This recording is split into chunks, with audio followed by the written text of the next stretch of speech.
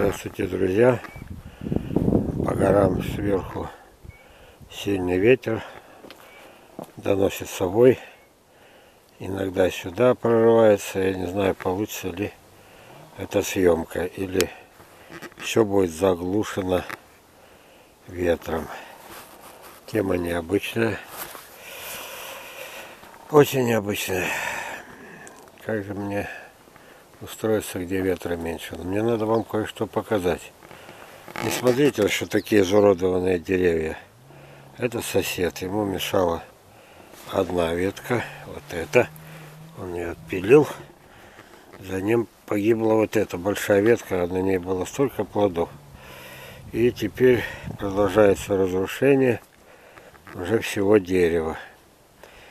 Кстати, никогда не советую эти раны залечивать. Дерево или залечится само, или погибнет, независимо от вашего желания. Но вот еще живо. Посмотрите, было три дня жары до 20 градусов. Начали просыпаться деревья. Вот они, почки цветочные наклевываются, набухли. И ожидается урожай, если его не убьет, как бывало майские снегопады. Это Сибирь так тоже случается. Цель разговора будет, это просто, знаете, иду мимо, а вдруг кто-то скажет, да что ты тут нас учишь, посмотри, какие изувеченные деревья. Да, изувеченные. Вот они грибы.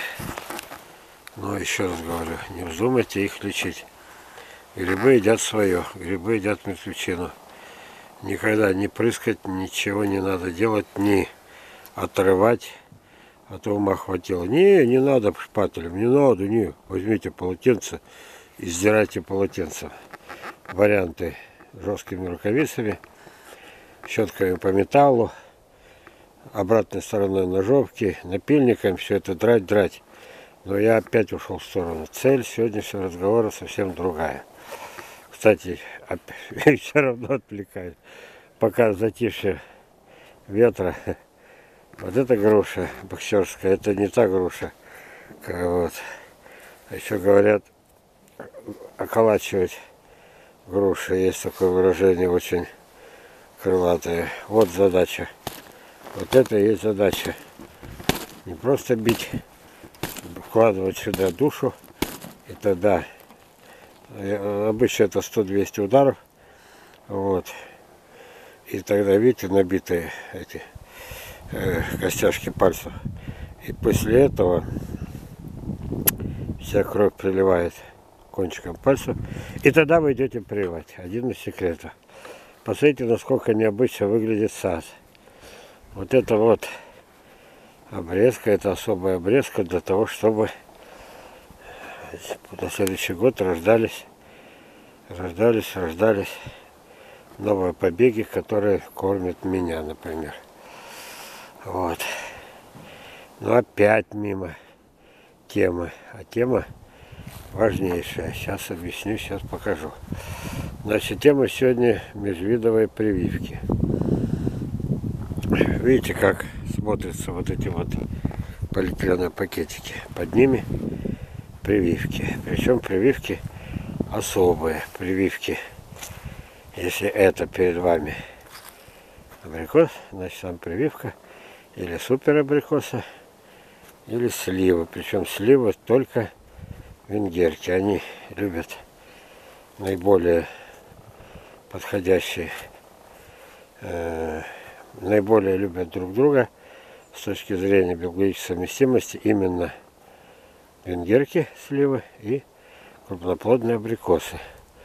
Раз прививка, два прививка, три прививка, 4 прививка. Прививки делались в эти дни. Давайте приглядимся к дереву. Успел я, нет? Вот начали просыпаться. Вот они, цветочные почки просыпаются. Значит, еще, еще успел. Прививки приживутся. Вот.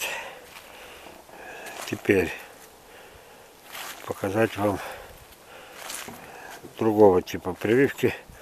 Прививки у земли я накрываю бутылками.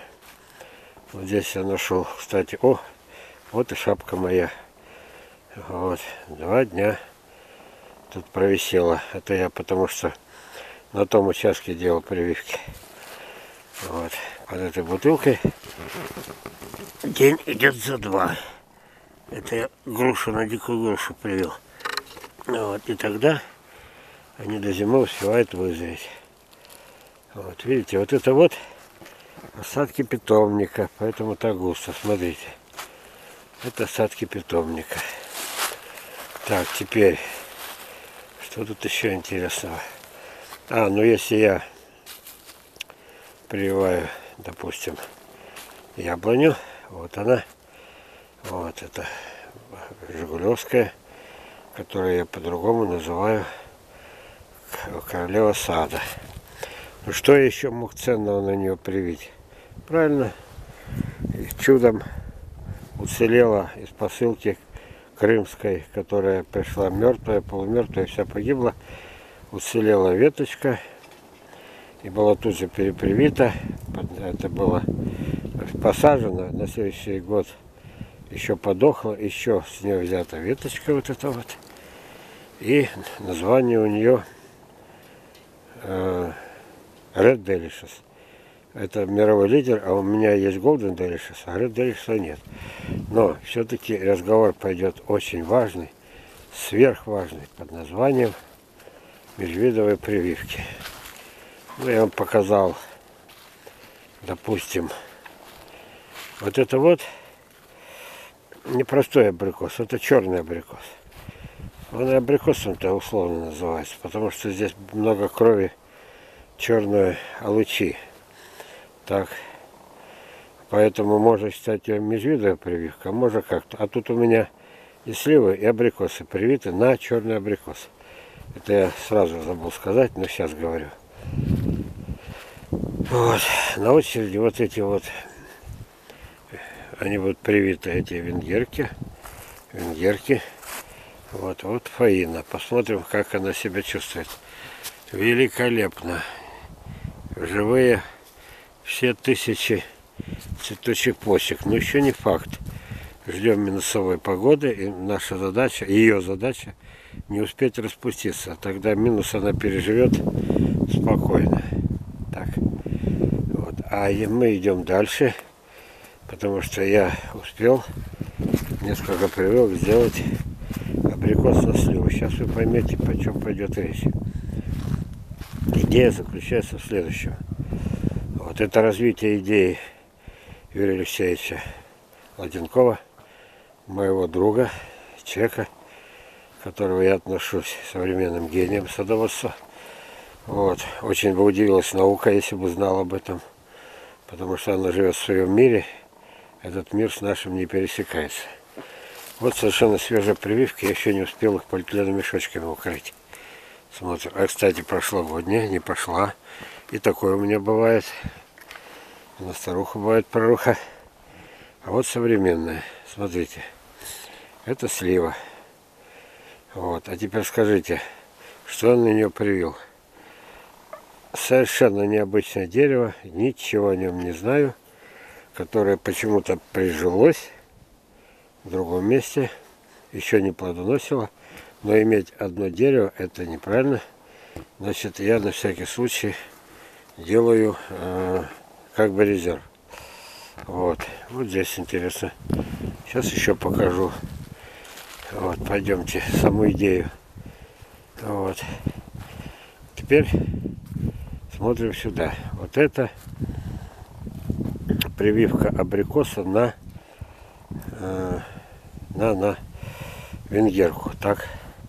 Уже одна попытка была. Кого я на нее привел? Это было годом раньше. И, и она, видите, какая хорошая. Она уже собирается распускаться. Она живая. А почему она так обрезана? А потому что не успела вырасти эта ветка. Она была длиной около метра. Я уже ее сделал как маточную. Сильнейшая обрезка. И уже вот это вот перенесено. А что перенесено? А это мой самый долгоиграющий сорт. Называется Слева персиковая мичурина. Удивительный сорт, плоды желтые, персиковая мичурина. Конечно, это слива. А почему персиковая? Может, там есть гены персика, может быть. А может и нету. Но зато она очень-очень э, вкусная и главное твердая. Я так люблю твердые сливы. Я так люблю, когда они хрустят. Вот, ну, заодно покажу, ну, вот это, посмотрите, дикая уссурийская груша. Страшно к ней подходить. Это ее самозащита. Миллионы лет самоселекции, и она теперь стала недоступна. Ее не сможет сживать ни один лось. А я смог. Я на ней привил, видите? Какая мощная прививка. Вот она. Вот смотрите. О, теперь будем ждать чуда. Вот. А это не просто прививка. Это один из лучших мировых сортов. Вот. Название у нее странное. Э, на бережке было написано лектор. Надо посмотреть в интернете. Или это просто географи... Э, грамматическая ошибка. Может быть. Но самую главную идею все-таки я еще не сказал. Итак.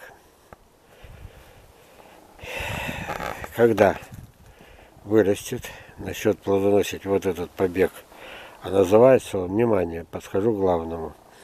Это моя привычка интриговать. Э, таких у меня уже штук 20 привык.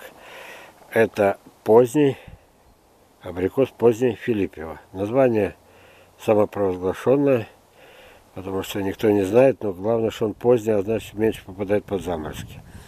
Плоды нет, не крупные, не огромные, 100 и более грамм. Вот. И тоже, что мне нравится, твердые. И на фотографии я их показывал. Главный смысл, если гены передадутся от основное дерево, это венгерка, так, слива венгерка, а она еще позже зацветает. Ну, все, правильно, догадались с одного раза. Будем надеяться, что веточки взяты отсюда, им передадется с помощью ментора, а может и закрепится, этого не знает никто. Сейчас кое-кто крутит у виска, то, что говорит Железов. Ну, попытка не пытка. Задача увести абрикосы от весенних заморозков. Это самая главная беда по всей России и уже в Сибири стало тоже. Сибирь стала теплее, я этому совершенно не рад.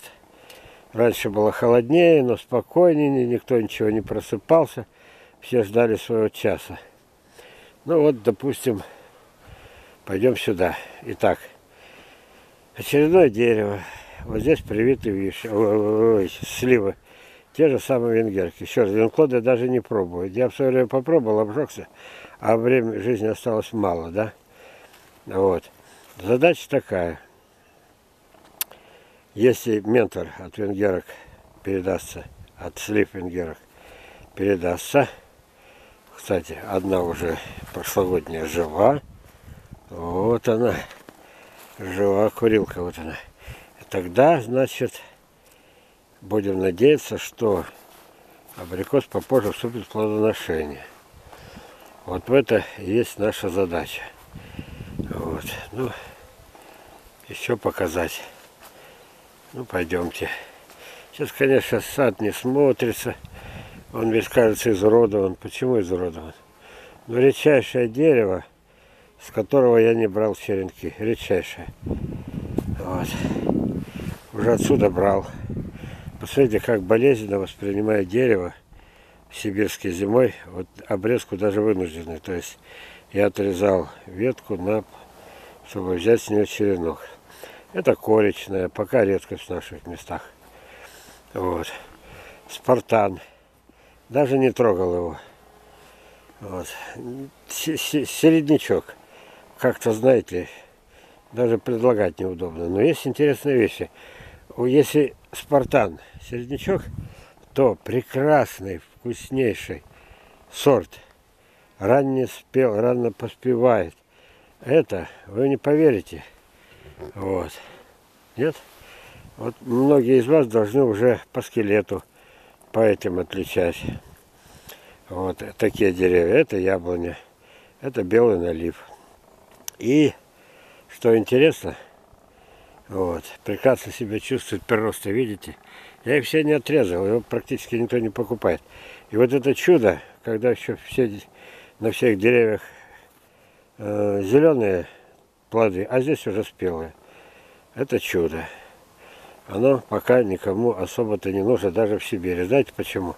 А простой народ у нас, простой советский народ, вот, подавая, видят рекламу, а на рекламе э, просто на рынке фотографии. А на рынке фотографии плоды, нет, не теннисный мяч большой, нет, а с детскую голову плоды на фотографиях. И все это покупают, и все это мертво. Сегодня, кстати, суббота. Так, у меня 11 будет вебинар, да, сегодня, сегодня 9. 11 марта у меня будет вебинар. Я как раз расскажу. Там будет письмо от чека, ну, достоверное, доподлинное. Вот, 100 тысяч потратил за два года. И показывает, какой, какой именно питомник ему продал за два года мертвецов на 100 тысяч. Вот. Видите как? Значит, что получается? Вариант второй. Самим надо выращивать. Что здесь сложного-то? Ничего сложного. Ну, немножко сложно прививать. Вот теперь смотрите. Три прививки и все три сливовые на абрикосе. Это абрикос Дар Небес. Он себя будет плодоносить. Посмотрите внимательно. Давайте разглядим цветочные почки. Вот они, видите, набухают. Вот они. Вот. Вот они, живехонькие. И для чего здесь вот эти три? Это мощная, как сказать, оппозиция. Когда они зацветут, нет, вырастут, прошлогодняя при, это, попытка тютю, не все коту масленица. В этом году, я уверен, из трех хотя бы две пойдут. Вот. А почему межвидовые? Почему? Венгерки, сливы. И вот эта мощная э, чужая кровь в этом штамбе, в этом э, организме должна привести, сдвинуть уже хотя бы, я еще четвертую привью, вот эту, вот, я еще не все сделал, вот, вот еще четвертая будет привита. Мощное вливание чужой крови, и если это, а все-таки венгерки и абрикосы крупноплодные не враги, как оказывается. Идеальный вариант у моего друга Чернобаева, если вы видели эти фотографии, или бы... Почему фотографии? Я фильмы там снимал прямо у него. Подчеркиваю, ветки с моего сада. Но он взял и превзошел меня в одном. То, что мне в голову не приходило, я спустя несколько лет должен повторять все это сначала. Мне больше на старости лет делать нечего. Вы представляете, он меня обошел. Он взял на культурные абрикосы, на сеянцы культурных абрикосов, а у него теплее немного. Городская черта, не замерзающий не сей, оказался посередине. И что? А у него на культурном абрикосе бай получились такие урожаи в венгерах. Да еще и цвет поменяли. Вот это наглость. Я теперь вынужден вот это делать. На старости лет мне больше заняться нечем. Вот одна неудачная попытка, а из этих трех две я гарантирую, а может все три. А вот еще четвертую я вот сюда еще привью. Вот. И потом ментор. А это я называю насыщение ментора по Мичурину. Э, это э, не, не мое наслоение, потому что мое наслоение это многолетняя работа. А тут сразу бах и чудеса. Во многих случаях вот эти, казалось бы, чужаки, на силу примотанные, кое-как прижившиеся, вдруг захватывают плацдарм, вот, становятся уже не какими-то рецессивными, а становятся доминантными. И тогда что, абрикос станет вот этот сливой? Нет! Но он должен, обязан, иначе для чего я все это затеял? Зачем мне это надо было? Мне и так все хватает. Вот. Он просто станет. Ну, вы что догадались, с одного раза. Правильно? Он станет это, зацветать на одну неделю, одну-две недели позже. И ура! Вот этот сорт, который называется Дар Небес, двинется Потому что у меня два года его нету. Потому что как он зацветет, так под заморозки. Ну что это такое? Вот так, друзья. Все, что хотел, высказал. Вот. Не все коту масленица. Вы знаете, что получилось у меня еще тут? А у меня на ус эти диких сигаталинских абрикосах, вот они, красавцы. Вот. Они очень хороши. Их можно кушать, косточки разламывать, разбивать, потому что это противораковое средство знаменитое. Вот. Можно соки, компоты, варенье варить. Но оккультуривание подается плохо. Все прививки на нем погибли. Вот так вот. Это упорный товарищ. Я бы мог его переломить, но мне уже жизни не хватает. Поэтому я пошел методом Ладенкова Юрия Алексеевича. Я не стесняюсь признаваться. Где-то я учитель, а где-то ученик. Вот. Взял просто-напросто. Есть манжурский абрикос в основании. К нему уже давно приучены культурные ну, он считает, надо вначале полукультурку, например, а потом культурный. Вот. И так можно не просто вырастить супер сорта, как, какие у меня, и от меня к нему перешли, а у него еще и свои супер сорта, но еще и сохранить эти качества. Потому что каждая последующая перепрививка, она опять непонятно в какую сторону ведет. Бывает еще крупнее, а бывает мельче. Вот сколько я вам наговорил. Надеюсь, ветер не помешал. Надеюсь, так вот. Ну, еще немножко пройдем. Вот этот ветер воет, но по верхушкам. А когда бывает, это когда поперек, когда повдоль руса, тут, конечно, помню, и крыши срывало в Красном хуторе. Вот. А если вот заглянуть вот сюда, это я называю, и мне еще тут немножко времени есть, чтобы польза была больше. Некоторые злятся на меня, что-то мало по делу. Они как-то думают, что я думаю, говорит, пункт первый. Вот, пункт второй, пункт третий. Вот так я должен рассказывать, лекции читать. А я так не умею. Вот видите, вот, опять, опять на абрикосе прививка сливы.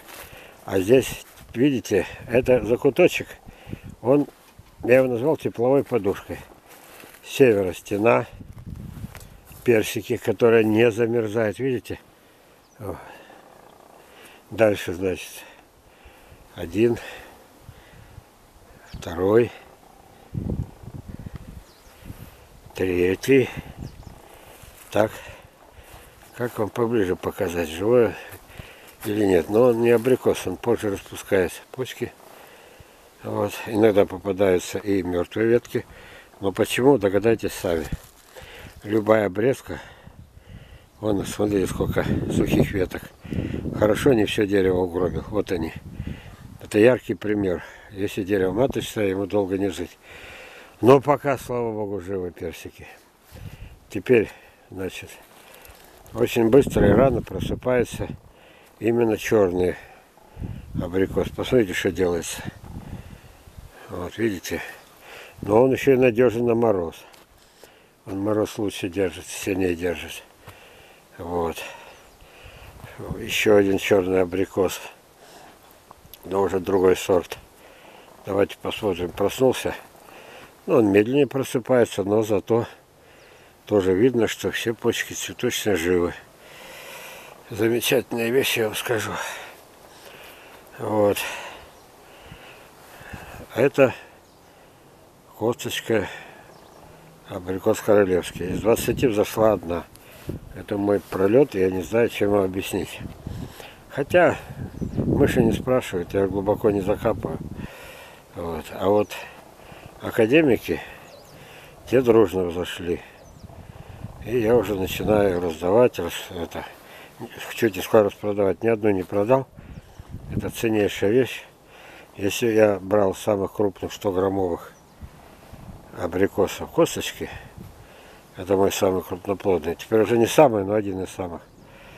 То я надеюсь получить плоды от 50 до 100 грамм. Рассаживать некуда. Одному соседу обещал парочку, второму обещал парочку.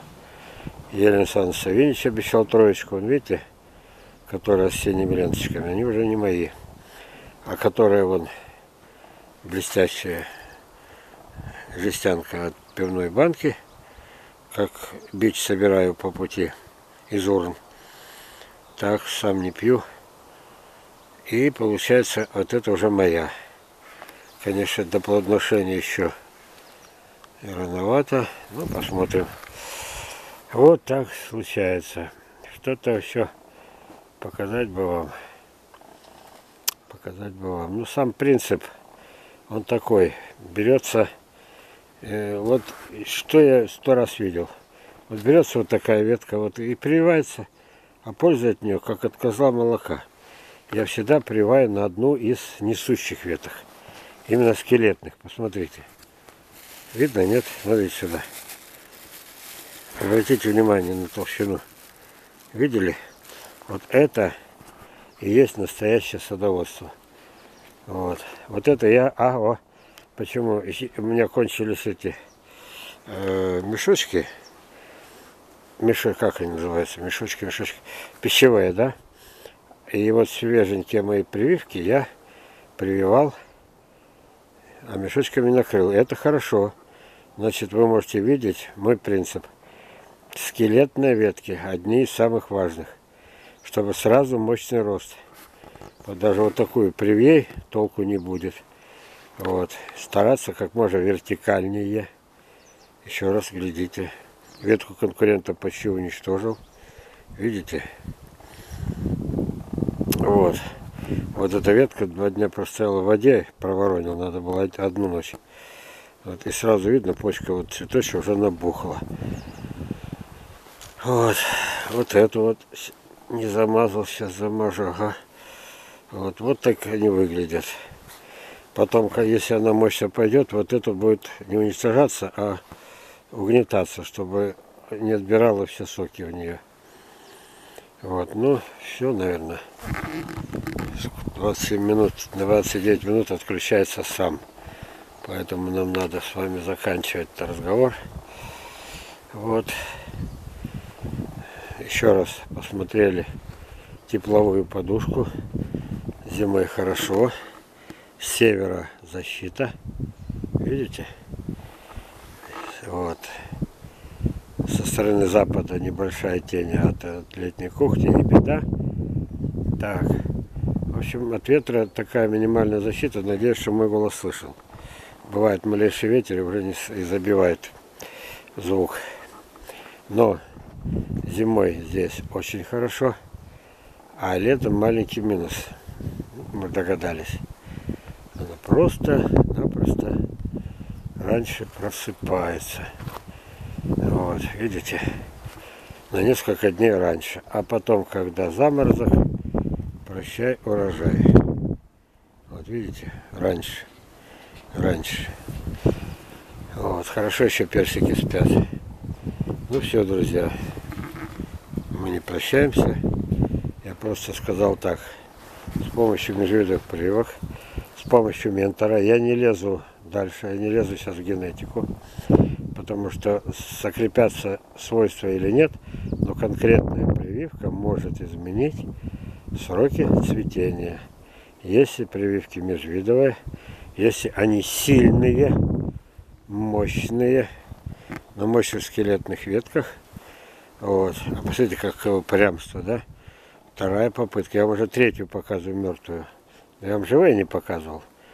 Ай, сейчас не успею. 29 не успею тут. Эх, далеко. Там у меня супер сорт. Я вам показал, что такое настоящая скелетная прививка. Все, друзья, мы не последний раз видимся. В следующий раз я съемку сделаю, когда во время цветения. А потом во время уже, когда цветение закончится, и окажется, что понесло с этими, понесло с заморозками. Последняя беда. До свидания,